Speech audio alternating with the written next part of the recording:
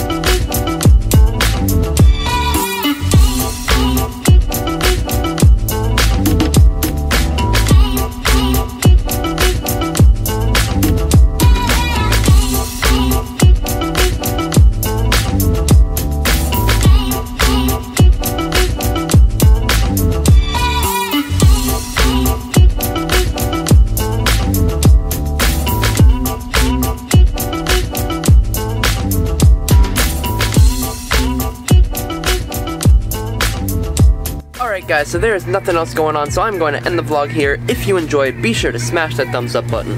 Don't forget to turn on my post notifications so you never miss a new video, guys.